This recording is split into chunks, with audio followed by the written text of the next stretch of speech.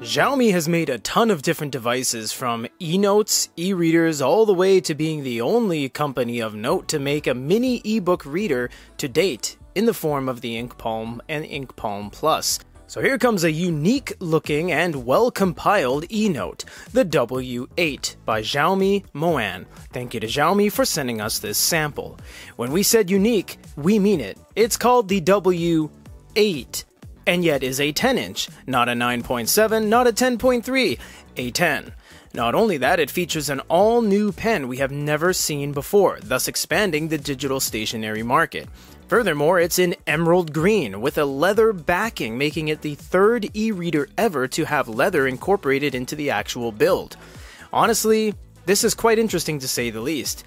It's Android, you can install apps, but what else can it do? Well, let's check it out.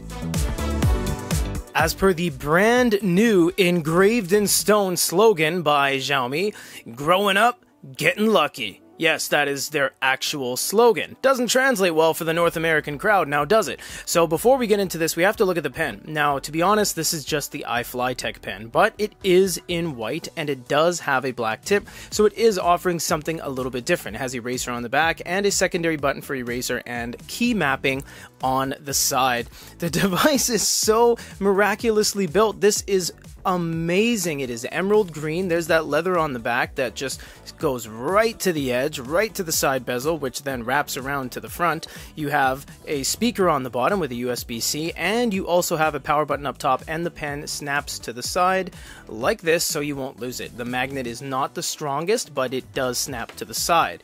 Now, looking at the unit itself, Looking at the UI, you will see that all the apps are in Chinese. Do not worry, anything you install after the fact will be in English, and the device is in English. Everything from the top drop down and the settings and everything in between. So if you go to device settings, if you go to network, all that stuff is going to be in English, so do not fret. There will be no learning curve when it comes to the languages. Now, there are a various amount of settings. You can scroll through it if you wish. There's nothing too kind of specific to this device. Simple things like install from unknown sources, changing your app information, etc. So just go through that if you want to see any of that. There is gesture support, so you can swipe from the bottom up to go home.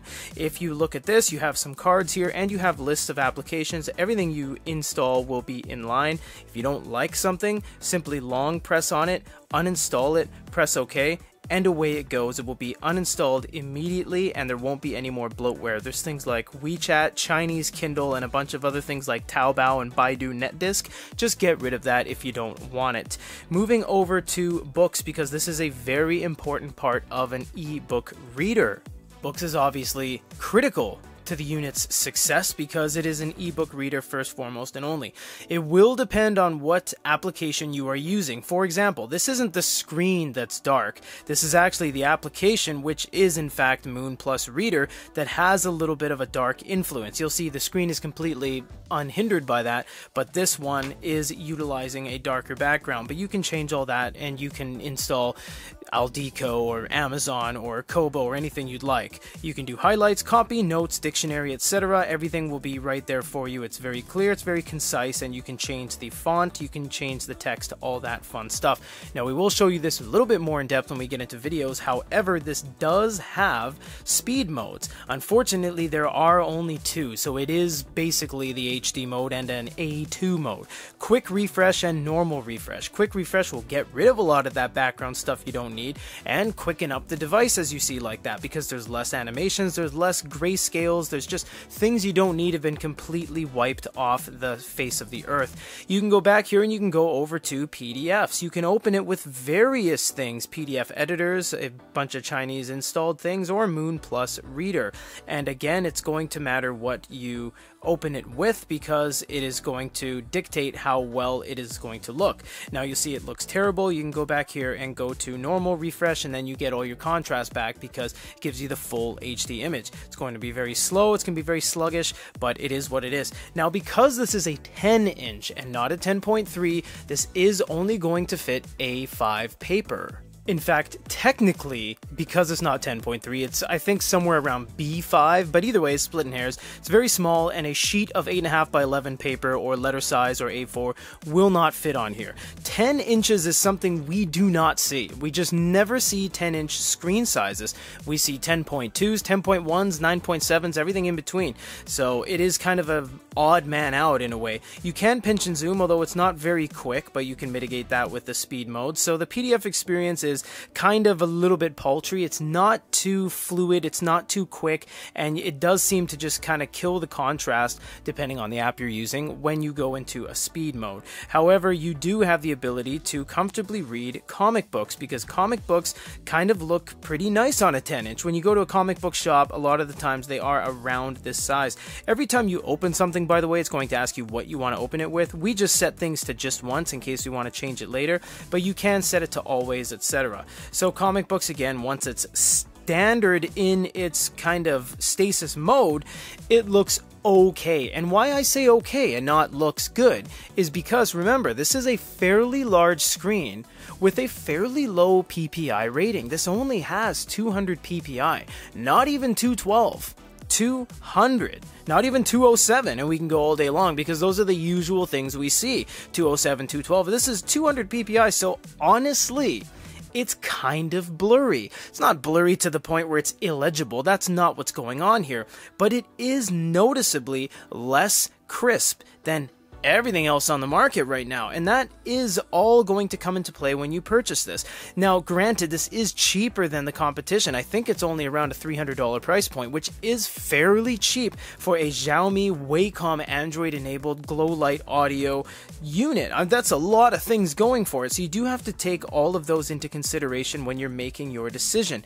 Now, the most important thing we got to get to that everyone is waiting for is the notebook experience because this is an Android e Note. Comes with its own pen that has never been used before. So here it is. Now, unfortunately, right now, as, as of today's date, you do not get English on the note taking experience. This will change. This will absolutely change. They have told us they've already updated the top bar and they will subsequently update everything else. You can add recordings onto the screen various different ways and you can do different pens. You do have eight different pens, and you know what? Completely honest, this is a great e note.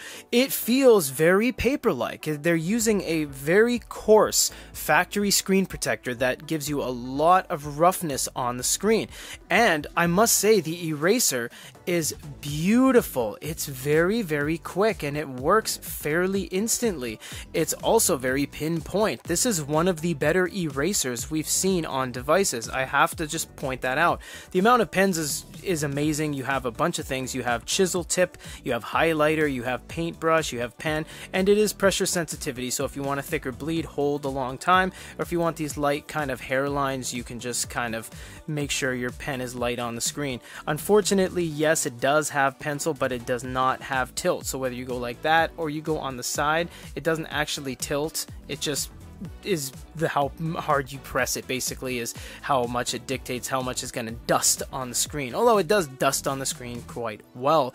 You have this as well which is a ton of different templates. You also have a selector tool. You have back you have forward you have undo you have refresh and you have get rid of capacitive. Although you don't have to worry because even with five points on the screen two three four five you do have the ability to write with the wacom pen unhindered. You also have this down here which gives you you a bunch of other options, which is basically, as we translated it, a lot of things like the ability to switch what this button does, be it highlight, be it note taking, and just some other things like page preview, add the current page to wallpaper, etc. All of this will obviously become clear when it goes into English. You also have add new page right here, and when you do, you can add a new page in line and you can start writing out a note.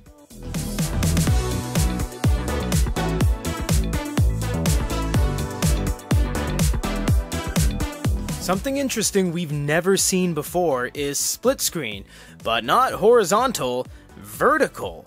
This actually splits the screen vertically so you can have your notebook up top and anything else down below. And to be completely frank, it's pretty quick. It does default to Baidu, but because we are outside of China, we can visit other places. But this is awesome because now we can go down here to our Google if we wish to do so Click OK on there.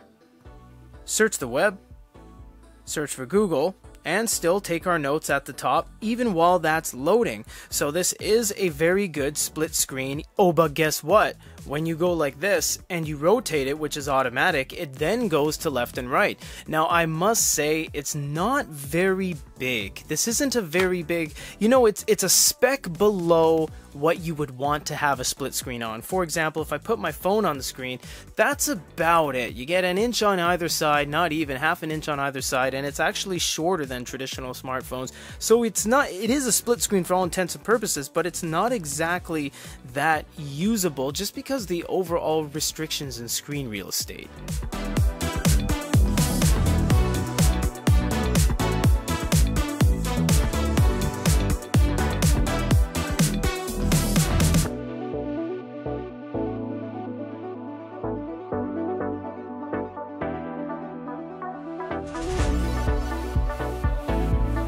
This has gotta be the most orange screen we've seen ever. It is crazy orange. You can, of course, change that with the glow light alteration here, although the hitbox is a little bit small, in which case it's blindingly blue. So you do have to most definitely be very sure you hit around 25 to around 65% because anything outside of that range is a little bit extreme. In fact, even here it starts to get a little bit pink.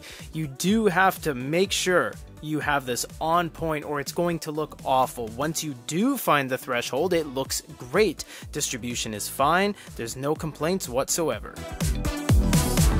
Other than the slogan that doesn't quite translate into the international world, this is a well compiled unit. It's built gorgeously, it works well, and it offers everything you're going to need under the sun, like note taking, audio, and it's from a reputable brand that's been around for quite some time in the e reader industry and consumer electronics industry in general.